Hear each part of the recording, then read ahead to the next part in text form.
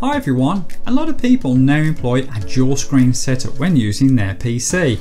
Usually it's a laptop and then a larger screen is employed for doing the main work on. However, if you're using Windows, there is a slight problem with this when you want to either save or print an image just off one of those screens. Now for example, I've got a beat scene here and if this is a single screen setup, all I do is simply just press the Windows key and the print screen key together on your keyboard and hopefully you've saved that image. However, if you use this same method on a dual screen setup, what we actually end up with are two images one off the main screen and then one off the laptop screen and obviously this is rather annoying.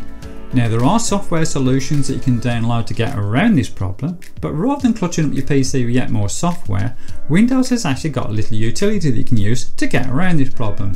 So all we do is just come down to the bottom left hand corner, press the Windows Start button, and then utilise that slider and drag all the way down until we come across the snip and sketch icon. Click that, click New, select that rectangle and then simply use our crosshairs to highlight the area that we actually want to print or save. And there you go. And if you want to save it, just press that little save icon and then save it to the appropriate part on your PC.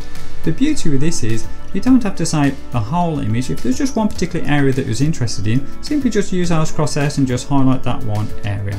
That's it. It's as simple as that. Hopefully this was useful. If it was then please give me that thumbs up. It helps others to find this video. And as always, I appreciate you watching and I'll catch up with you soon.